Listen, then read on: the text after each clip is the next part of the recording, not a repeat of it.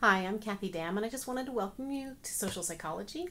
Um, I will be giving you regular podcasts to introduce you to some of the new concepts and to let you know what I think about the material. But I just wanted to give you a little hello, let you know what I look like, and uh, welcome you to the course. Most of our course will be um, interacting through the discussion boards. There's some pretty fun activities in there. We will have a large recycle project, which um, will allow you to work with your peers. And then we will have those exams.